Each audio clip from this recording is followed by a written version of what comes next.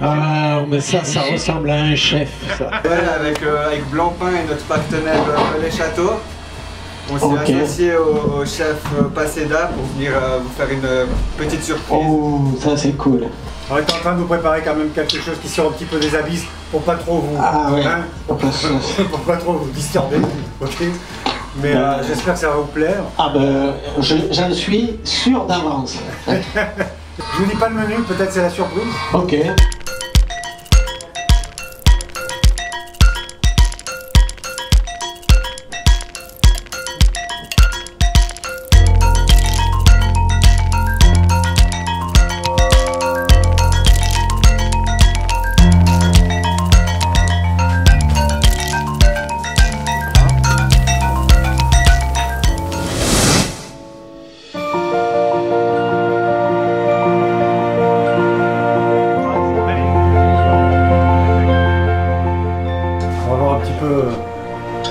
Test gustatif.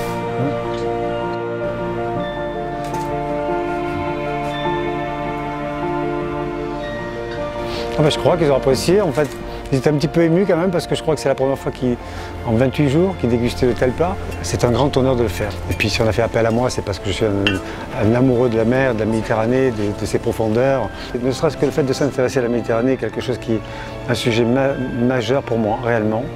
Parce que depuis tout petit, j'essaye de la préserver. Et de par ma cuisine aussi, puisque j'essaie aussi forcément de préserver les espèces en utilisant le plus d'espèces possible. Je respecte aussi la saisonnalité du poisson, je respecte aussi la Méditerranée et les profondeurs, et les abysses sont un petit peu mon potager marin, si je puis dire. Moi, dès que je sors, je viens dîner chez vous. C'est cool, merci.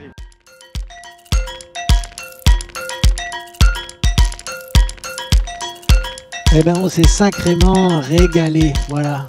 On nous avait dit qu'ici, il n'y avait pas de goût aux aliments à cause de cette atmosphère sous-oxygénée.